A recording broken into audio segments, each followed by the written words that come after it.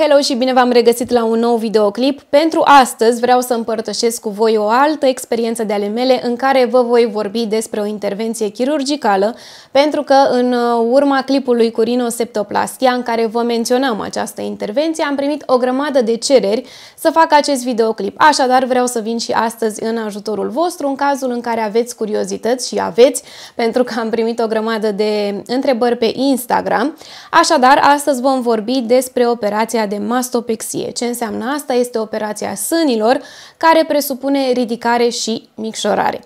Înainte să trecem la întrebări, vreau să vă introduc așa puțin în poveste și să vă explic cam ce s-a întâmplat și de ce am ajuns să recurg la această intervenție.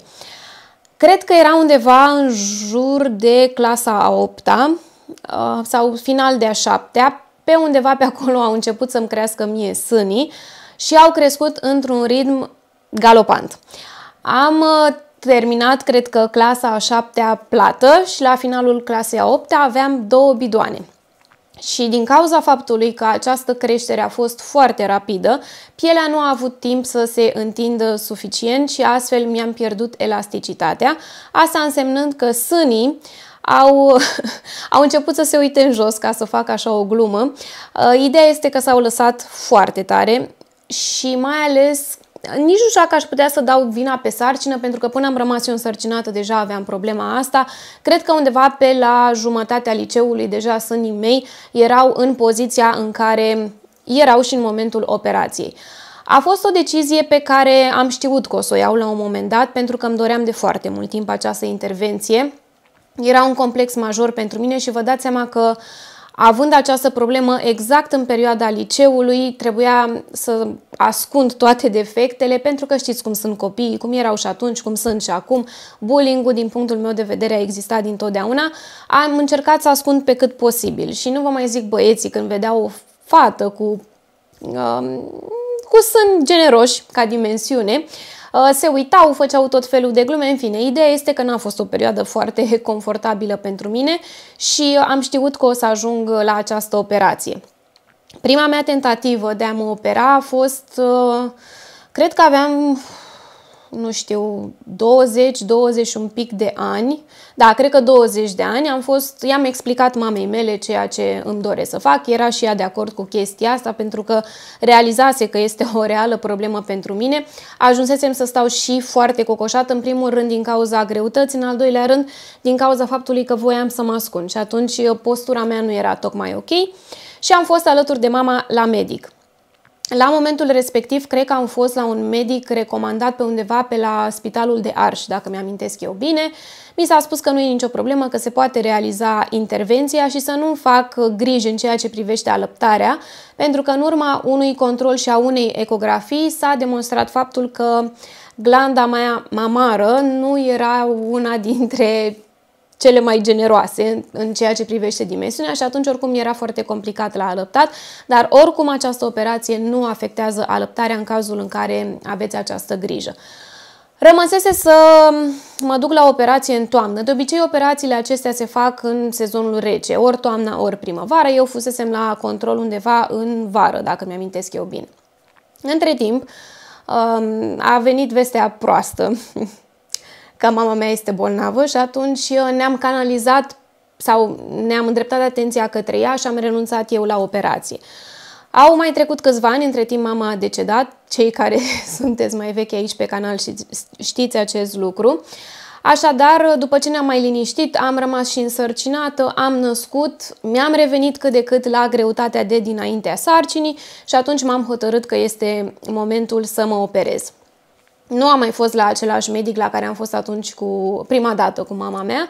Am fost la alți doi medici în prima fază, uh, o doamnă doctor și un domn doctor destul de renumiți și ambii mi-au spus că nu se bagă la așa ceva pentru că era un caz destul de complicat, însemnând că gradul meu era 4 din 4.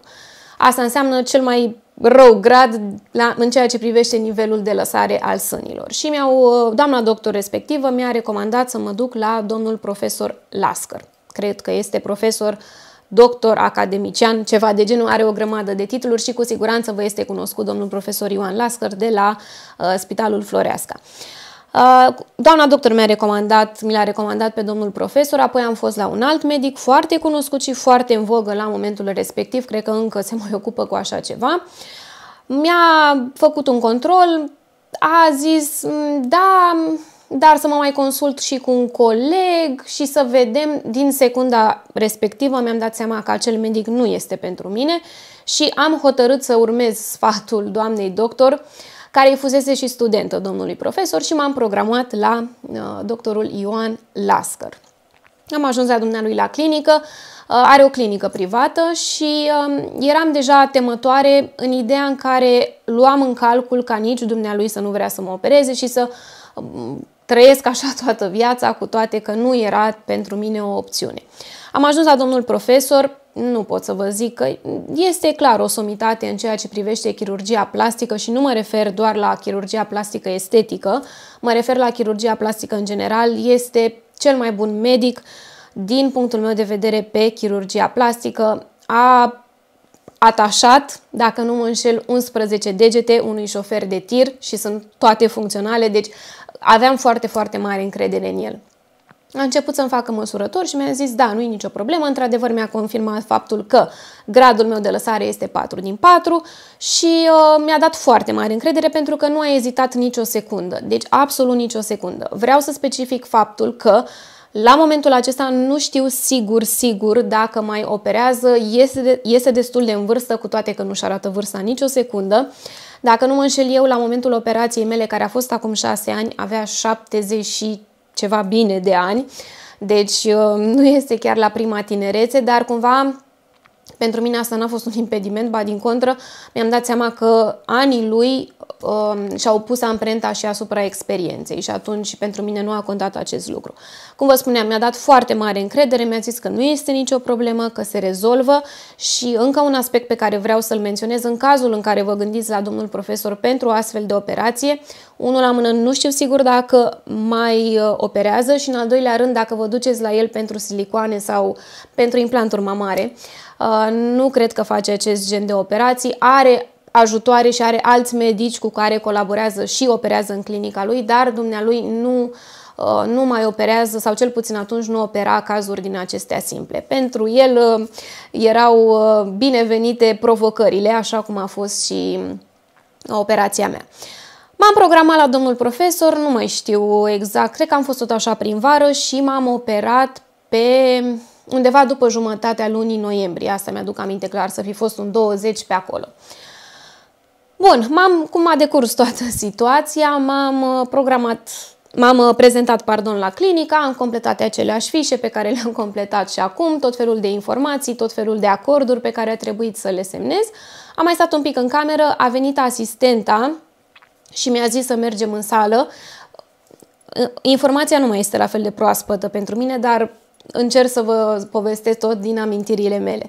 Am mers în sală, mi-aduc aminte că eram îmbrăcată într-un uh, halat și lenjeria intimă, mi s-au spus să-mi dau totul jos, deci uh, am fost în uh, costumul Evei, dacă vreți, și când am intrat în sală erau atât de mulți oameni acolo încât cumva atunci m-au luat emoțiile. Acum la rinoseptoplastie m-au luat mai repede, atunci m-au luat când am intrat în sală. Doar că echipa domnului doctor era, era foarte haioasă, deci au făcut o grămadă de glume cu mine, doamne, deci m-am, m-am distrat teribil cu, cu ei, mai ales cu medicul anestezist, care mi-a zis să mă întind, era genul acela de masă pe care stai uh, cu mâinile întinse, mi-a zis că o să-mi bage branul, altcineva mă ținea de vorbă, n-am, am simțit doar o pișcătură, dar n-am realizat 100% că uh, mi-a băgat branula, după care mi-a spus că hai să te ajutăm să te relaxezi un pic. Și mă simțeam atât de bine după ce mi-a fost introdus, nu știu ce, dar mă simțeam atât de bine și glumeam cu ei și zicea, da, o să merg în vacanță, le povesteam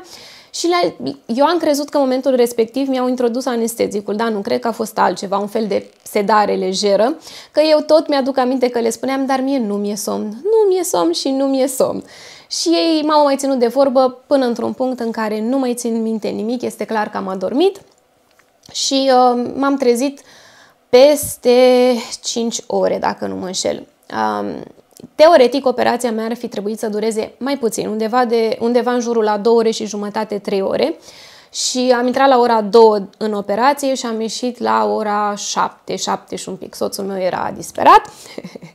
A sunat de o grămadă de ori la clinică, nu înțelegea de ce nu ies din operație în condițiile în care ar fi trebuit să se termine mai repede, doar că uh, situația a fost mai complicată decât se aștepta domnul profesor și atunci a preferat să-și aloce timpul necesar pentru a avea un rezultat bun. Uh, spre deosebire de rinoseptoplastie, mi-aduc aminte că m-am trezit, adică mi-aduc aminte tot, inclusiv momentul în care m-au trezit în sală, mi-aduc aminte când m-au strigat, mi-aduc aminte când mi-au spus că o să mă mute pe, pe patul cu care am fost dusă la terapie intensivă și mi-aduc aminte tot din momentul acela. Într-adevăr, mai sunt momente blurry în care știu că am vorbit cu cineva și am spus tot felul de tâmpenii, în fine, neinteresant, dar dacă treceți printr-o anestezie generală, vă recomand să așteptați undeva la 4-5 ore și apoi să începeți să vorbiți și să dați telefoane și să scrieți mesaje, pentru că dacă nu, o să vă amuzați foarte tare de tot ceea ce ați spus mai devreme, pentru că noi avem impresia că suntem conștienți 100%, dar nu suntem, vă garantez 100%. Bun, cum am petrecut prima noapte, să știți că nu am dormit, nu știu dacă am dormit 30 de minute, pentru că nu mai aveam somn. M-am odihnit atât de bine în timpul anesteziei încât nu, efectiv, n-am mai simțit nevoia să, să dorm. Și am stat la terapie intensivă toată noaptea, am stat conectată la aparatul acela care monitorizează pulsul, tensiunea, nu știu exact denumirea, în fine cu o asistentă care m-a supravegheat. Și a doua zi dimineață am plecat în salon. Uh, tendința mea când m-am ridicat din pat, știind că nu am sutien, a fost să-mi țin uh, sânii. Acum să ne înțelegem, sânii mei nu erau liberi, erau bandajați, dar știam cumva în subconștientul meu, îmi spunea nu ai sutien, nu ai susținere, ține, pardon, ține-te de sâni că or să pice și prima mea senzație a fost să fac așa și doamna asistentă îmi spune ce faci. Păi nu zic să nu-mi cadă sânii. Și doamna asistentă îmi spune nu, nu are ce să scadă că sunt uh, pe poziție. Să știți că nu am avut tuburi de dren, în uh, ciuda a ceea ce mi s-a spus înainte, îmi spusese domnul profesor că voi avea tuburi de dren, însă a constatat în timpul operației că nu am sângerat și că nu a mai fost nevoie de așa ceva și m-am bucurat teribil pentru că Cred că cel mai frică mi era de scoaterea tuburilor de dren, că știam că nu este un moment foarte plăcut. Apoi uh, am ajuns în salon și am stat internată trei nopți, cred, deci a durat ceva. Domnul profesor venea zilnic la mine până când la un moment dat a trebuit să plece la un congres și mi-a zis dăm mesaj dacă se întâmplă ceva. Asta fiind cam, uh, cred că în a doua zi. Și a plecat domnul profesor și eu nu i-am mai dat niciun mesaj pentru că nu se întâmplase nimic, nu mă durea nimic atât de tare, eram oricum pe medicamente, n-am simțit nevoia să-l deranjez. Și ar fi trebuit, dacă nu mă înșel, să plec în a treia zi. Și domnul profesor era tot plecat și l-a, sunat asistenta dumnealui și a zis că nu-mi dă voie să plec pentru că nu i-am scris nimic. Așadar am mai stat o noapte. Pentru că el voia să se asigure că e totul perfect și probabil a considerat că dacă eu nu i-am spus că mă simt bine, mai este cazul să stau noapte. Nu am plătit nimic în plus, acela, uh, nu știu dacă am, am spus prețul, nu cred, costul operației a fost acum 6 ani de 4500 de euro și nu am implant, deci a fost doar o operație de ridicare și micșorare fără implant mamar.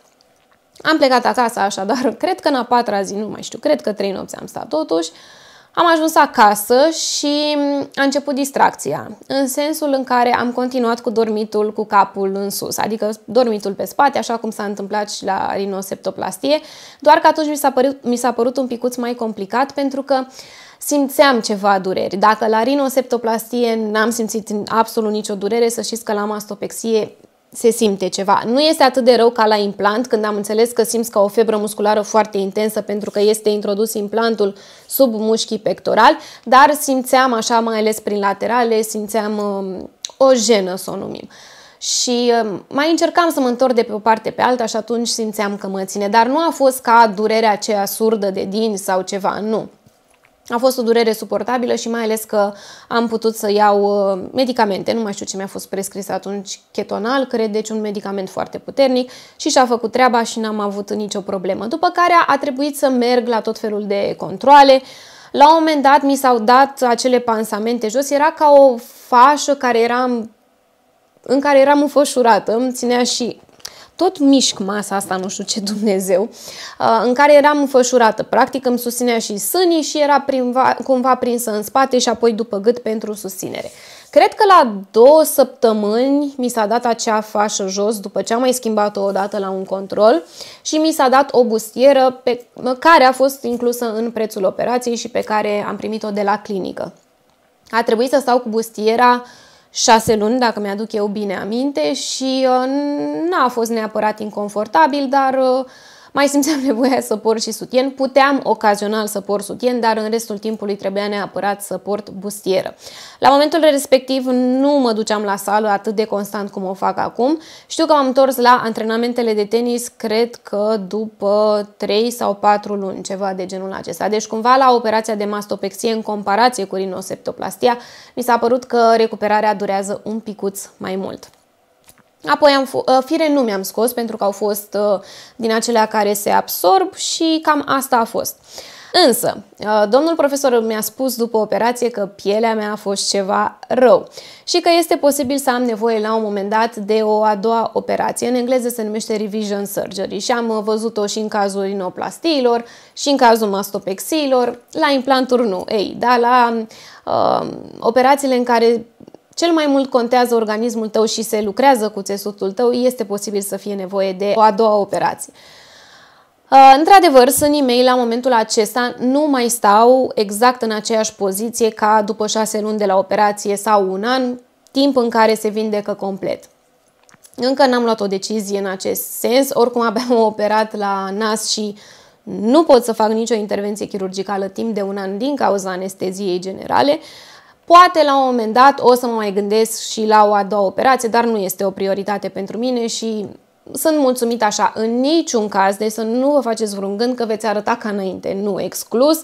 Uh, nu, nu este vorba despre așa ceva și nu vă zic cât de ușurată m-am simțit după această operație că nu mai am acea greutate pe care o căram veșnic după mine. Așadar, ca să vă dau o concluzie și apoi trecem la întrebări, recomand și această operație pentru că cărați niște exces degeaba. Uh, nu vă ajută nici pe voi la nimic, nu ajută nici spatele la nimic, nu vă ajută nici estetic. Deci, dacă vreți să scăpați de acest complex și vă interesează această operație, vă recomand să o faceți cu mare, mare căldură, dar să țineți cont că perioada de recuperare este un picuț mai mare și există mici, mici jene. Dar nimic rău, mai rău te doare o măsea, credeți-mă. Bun, hai acum să trecem la întrebările pe care le-am uh, primit pe Instagram. Sper că n-am ratat nimic, v-am zis, vorbesc cumva din amintire, a fost acum șase ani, sper că am spus tot ce era de zis. Medisan Mirela, ea este una dintre persoanele care mi-a cerut acest clip. Cum te-ai decis să faci această intervenție? Cred că am atins acest punct. Apoi, Murgoci Maria, bun, aș dori să știu ce perioadă de recuperare e ca și dureri. Eu îmi doresc implant. Să știi că perioada de recuperare între mastopexie și implant diferă. Am înțeles că durerile ar fi un picuț mai mari la implant, cu toate că în ziua de astăzi am văzut chiar la Monța, unde m-am operat eu, că fetele pleacă a doua zi și nu prea se plângea nimeni de dureri, dar este posibil să simți ca o febră musculară intensă. Nu mi se pare o tragedie, ținând cont de aspectul pe care îl capeți și oricum această febră musculară, această durere nu persistă toată viața. Nu, este o, perio- o perioadă scurtă și cred că n-ar trebui să uh, ne fie, ne fie frică de intervenții sau să nu le facem din cauza durerilor, pentru că acestea vin și pleacă, în schimb rezultatele sunt pe toată viața. Tot Medisan Mirela, anestezie totală sau parțială, totală, 100%, nu cred că operează nimeni cu anestezie parțială, cel puțin acest tip de operație, nici implanturile nu se pun cu anestezie parțială. Tot ea mă întreabă cât a durat recuperarea, cea mai, fric, cea mai mare frică a mea e că nu, că nu o să-mi pot ține pitica în brațe. Nu, nu o să poți ține în brațe uh, o perioadă bună de timp, o lună, cred. Uh, ideea e să nu ridici. Dacă ți-o pune cineva în brațe, poți să stai. Ideea e să nu faci efort și să nu ridici. Dar uh, tot așa, e o perioadă. Nu știu dacă... Pentru perioade scurte nu cred că ar trebui să... Sau mai bine zis, de perioadele scurte nu cred că ar trebui să ne cramponăm pentru ceva care va fi pe, pe toată durata vieții. Da, nu ai voie să ridici, ți-am zis, recuperarea mi se pare un pic mai lungă decât la rinoseptoplasie, dar viața revine la normal curând. Apoi, I am Lady Shante. Nu am întrebări, doar vreau să spun că arăt super mulțumesc. Mădălina Anastase, există dureri? N-aș putea să le numesc neapărat dureri, hai să le spunem jenă, ceva de genul acesta și mă refer așa pur și simplu, dacă te-a pus să te pipăi, da, vor fi dureri. Dar trec. Mădălina Anastase, ce medic ai ales? Este grea recuperarea după cât timp revii la activitățile zilnice. Pe medic l-am menționat, nu mi s-a părut grea recuperarea, mi s-a părut un picuț inconfortabilă, dar atât. Ehm, iar la activitățile zilnice, bănuiesc că te referi la mersul la serviciu și așa mai departe, nu știu să zic, două săptămâni, trei săptămâni, dar nu la sport. Aia nu și nu ridicat greutăți. Sorina Avram, această operație include și silicon, te pup, ești cea mai dulce din online. Mulțumesc, Sorina. Nu, această operație nu include silicon, mastopexia este strict operația de ridicare și micșorare, însă dacă este nevoie și dacă pacienta cade de acord cu medicul sau medicul cade de acord cu pacienta, se poate introduce și implant în același uh, tip de operație. Dar la mine nu a fost cazul de așa ceva, pentru că eu îmi doream să mai mici. Însă, Poate dacă puneți implant și vă permite pielea și uh, anatomia voastră, s-ar putea să stea mult mai bine pe poziții. Trebuie discutat cu medicul. Rovena, care dintre cele două intervenții ți s-a părut mai dificilă? Cred că mastopexia. Uh, pentru că au fost mijene, pentru că mă durea cumva partea asta a corpului când fi, făceam uh, mișcări mai bruște, mi-a fost destul de dificil să încep să dorm iar într-o parte, la nas parcă mi s-a părut mai scurtă um, recuperarea.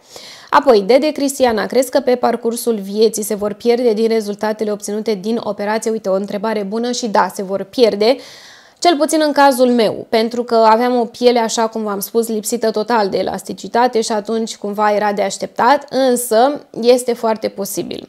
Cred că este um, o chestie general valabilă pentru mai multe tipuri de intervenție, nu doar pentru mastopexie și așa cum îți spuneam, în cazul meu este într-adevăr nevoie de o a doua operație, dar nu e nimic grav, urgent, nu. Este posibil să o fac la un moment dat, dar nu în viitorul uh, apropiat. Tot ea mă întreabă, ți-au rămas cicatrici mari. Care este ideea cu mastopexia? Uite, asta nu am, uh, nu am menționat. La mastopexie există un tip de cicatrice care se face, mă rog, un tip de tăietură să o numim, Uh, care se numește ancoră. Ce înseamnă asta? Se face o tăietură în jurul mamelonului, nici nu știu cum să vă explic. În fine, hai să vă explic pe mine. Deci se face o tăietură în jurul, în jurul mamelonului, apoi o tăietură așa în jos și apoi pe toată partea asta de jos. Um, mie mi s-a explicat că îmi vor rămâne cicatrici, dar pentru mine n-a contat nicio secundă, am fost foarte directă cu doctorul și am spus că nu mă interesează, prefer să rămân cu niște cicatrici care oricum sunt ascunse sub uh, banda sutienului, decât să arăt în continuare așa cum uh, arăta.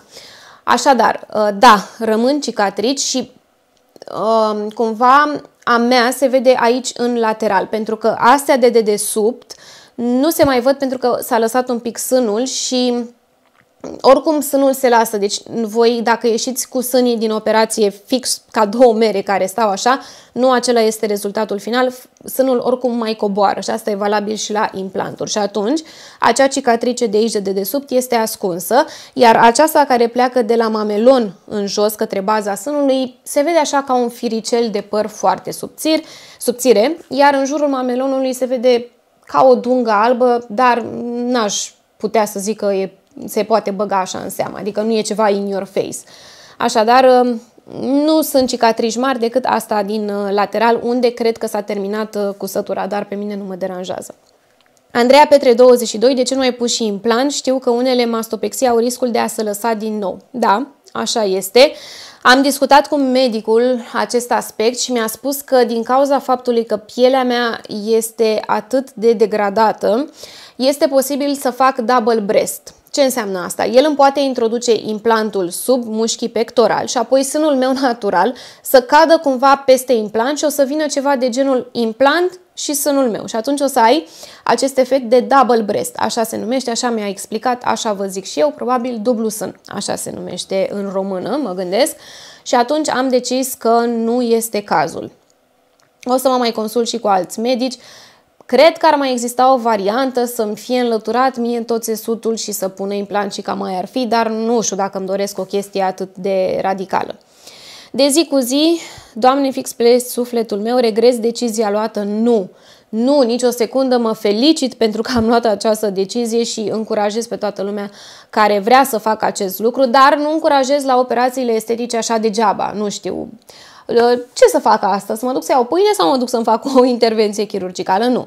Încurajez intervențiile în momentul în care într-adevăr există o problemă reală. Doar așa de dragul de a le face exclus. Departe de mine acest gând. Alina 27, cum te-ai refăcut după această operație? A fost ok, a fost un proces mai lunguț, așa mi-aduc eu aminte, dar totul e normal, am revenit la viața normală, fac activitățile pe care le făceam înainte, ba mai mult de atât, muncesc mai mult fizic decât înainte și nu simt niciun disconfort. Maria Lavinia, ai poze before și after? Nu, n-am poze before și after și chiar dacă aș fi avut, nu cred că le-aș fi pus neapărat aici pe YouTube, dar o să vă las aici o poză de dinainte de operație și o să vă las aici o poză de după. Adică sânii mei înainte de a fi operat și sânii mei după și cred că se poate vedea o foarte mare diferență în ceea ce privește dimensiunea lor. Monica Ioana a fost o operație pe care ți-ai dorit-o sau o problemă medicală? Uh, o operație pe care mi-am dorit-o în primul rând. Problema medicală uh, poate fi, nu știu la ce te referi exact, dar pot să spun că această problemă o reprezenta spatele meu și cocoașa pe care riscam să o dezvolt în timp. Tot ea, cum te-ai simțit după operație, nu mă refer la durere, ci la starea de spirit. Bună întrebare! Parcă zburdam. Eram atât, atât de fericită și atât de mândră de mine că am avut curajul să fac această intervenție, că mi-a schimbat viața, știam că asta o să se întâmple, știam că în final o să pot să port și eu rochii cu spatele gol, că mm, nu pot să spun neapărat că nu o să mai fie nevoie de sutien, pentru că mie mi se pare că din bun simț orice femeie trebuie să poarte sutien, nu neapărat pentru susținere, ci pentru eleganță și știți la ce mă refer. Dar probabil exista momente în care nu mi-aș fi dorit să port și eu o rochie cu spatele gol și știam că acel moment sosise și am fost foarte, foarte încântată că o să pot să mă îmbrac uh, în sfârșit cu un pic de decolteu fără să sară nimic în evidență. Deci m-am simțit foarte, foarte bine și mă simt la fel de bine în continuare cu decizia pe care am luat-o.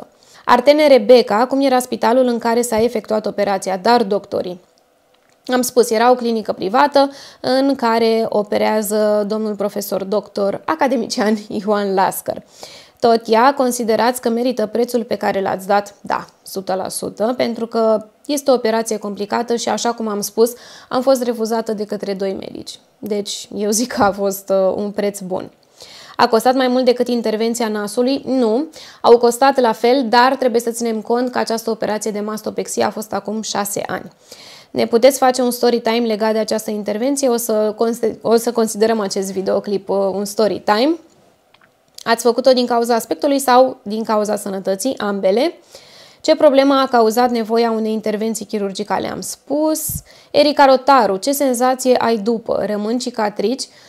Um, senzație, nu știu sigur dacă te referi la sensibilitatea din jurul mamelonului care se poate pierde dacă nu este o operație reușită, însă nu am avut această problemă. Într-adevăr, nu am simțit bună parte din uh, sân o perioadă până când se refac conexiunile, până când nervii și refac traseele, dar totul acum este la normal și a revenit la normal, nu știu, destul de repede, să zic în 2-3 luni, ceva de genul acesta și n-am nicio problemă. Nu, nu simt altfel decât simțeam înainte. Rămân cicatrici? Da, rămân cicatrici, dar acum depinde foarte tare. Eu nici măcar nu mi-am pus întrebarea dacă o să am cicatrici, adică la modul ăsta de setată eram atunci când am făcut operația, așa că depinde cât de uh, decis să ieși să faci această intervenție, dar da, trebuie luat în calcul că rămân cicatrici. V-am spus aici în lateral e un pic mai vizibilă, dar în rest nici să nu vă faceți griji, sunt ca niște dungi albe subțiri, precum firele de păr. Elena Petruța 97 ce te-a determinat să faci asta? Am spus. Artene Rebecca, dacă ați avut dureri când au trecut, hă, nu știu, 3, 2, 3 săptămâni, ceva de genul acesta. Ați simțit după, o dureri după operație, dacă da, cât de puternice. Nu erau dureri puternice, nu, erau era ca o jenă, așa, când mai mă mișcam, când mai mă atingeam din greșeală, când mai încercam să mă pun pe o parte, dar durere în adevăratul sens al cuvântului, precum o durere de cap, nu. Ce v-ați luat cu dumneavoastră în bagaj? Ce mi-am luat? Cam ce mi-am luat și acum la rinoseptoplastie. Mi-am luat pijamaua, da, atunci chiar am purtat-o, acum la rinosepton, nu pentru că am stat uh, prea puțin în spital și mulțumesc Dumnezeu pentru asta și m-am folosit de halatul lor. Papuci, produse pentru igiena personală, gel de duș, pentru că am f- făcut duș acolo. Puteți să faceți duș uh, imediat după sau la o zi, ceva de genul acesta. Periuța de dinți, pasta, o pernă de-a mea, pentru că eu și în vacanțe plec cu perna după mine, nu știu, o chestie la mine în cap, nu pot să dorm pe perne foarte înalte și foarte tari, am pățit odată să uit și nu vreți să știți că n-am dormit o noapte. Ce m-am luat? Carte, telefon, încărcător, chestii de-astea uzuale. Care era nivelul de emoții înaintea operației? Nu a fost foarte mare, erau mai mult emoții din acelea că abia aștept să se întâmple, abia aștept să fiu altfel, abia aștept să am și eu sunt normali. Uh, spre deosebire de acum, când emoțiile au fost altele, um, au fost emoții parcă amestecate cu teamă, am și, și plâns acum înainte de operație, atunci nu, eram, haideți să facem mai repede, iuhu, știi, iha, să fie totul mai repede, dar nu, acum a fost un pic altfel. Dar iată că am scăpat mai ieftin de data asta, ca să spun așa. Ați avut încredere în doctor și în asistente? Păi dacă n-ai încredere în uh, domnul doctor, profesor Ioan Lascăr, nu știu cine putea să mai ai încredere și încrederea mi-a dat-o din momentul în care mi-a zis da, se, fa- se poate face, e normal, se, e în regulă, o putem face fără niciun fel de problemă, atunci am știut că uh, este doctorul pentru mine. Și în asistente, dar în ele mm, mai puțin, mâna importantă este medicul. Doctorul era un domn sau o doamnă, am spus. Bun, Aici mai am, cred că, de la Herkerkos în Zeana, acum a fost recuperarea după, a fost ok, nu pot să mă plâng. Uh, și, eu intenționez să fac, și eu intenționez să fac, mi-e puțin teamă, doare, riscuri bănuiesc că sunt ca la fie, fiecare operație, nu? Riscurile sunt cele uzuale, exact cum spui și tu, ca la fiecare operație. De durut nu doare rău, repet, a nu știu câta oară, așa că dacă amâni această intervenție doar din cauza durerii, nu, nu amâna. Ana Angel cât a costat, am spus. Tot ea a durut locul după operație, eu am alăptat 2 ani și nu arăt în cea mai bună formă. Sunt interesată. Da, multe femei au probleme după alăptare. Dacă înainte de a rămâne gravide au niște sâni uh, care stau unde ar trebui să stea și gravitația nu și-a pus uh, amprenta asupra lor, după alăptat este foarte posibil și în, în același timp după alăptat este posibil ca și uh, Uh, forma și dimensiunea sânilor să fie modificată, adică să ai un sân mai mic decât celălalt și mai lăsat decât celălalt și așa mai departe. Toate aceste uh, mici probleme se uh, rezolvă în acest tip de intervenție. A durut puțin locul, dar v-am spus doar dacă aplicam, uh, dacă aplici presiune, dacă puneam mâna, dar nu, nu e ceva rău. La ce clinică v-ați operat? Tot Herker Cosânzeana am spus. Uh, cât a costat 4500, pardon, era să scap și telefonul, și am terminat. Cam acestea au fost intervențiile și cam acestea au fost impresiile mele despre am spus intervențiile, acestea au fost întrebările și cam acestea au fost impresiile mele despre intervenția mea de mastopexie. Încă o dată subliniez, nu îndemn la operații estetice, nu îndemn la mastopexie, nu îndemn la rinoseptoplastie, îndemn doar la ceea ce vă doriți voi să faceți cu corpul vostru și um, ar trebui să fie o decizie care nu interesează pe nimeni. Sunteți voi cu corpul vostru și atât. Voi știți cel mai bine ce aveți de făcut, deci fiecare își ia decizia după cum consideră că este mai bine. Dacă mai aveți întrebări după tot ceea ce am povestit eu aici, le aștept în căsuța de comentarii și vă răspund și acolo cu mare, mare drag. Acesta a fost clipul pentru azi, mulțumesc dacă ați ajuns până la final, mulțumesc pentru vizionare și pentru orice subscribe pe care îl dați și abia aștept să ne revedem uh, data viitoare. Pupici!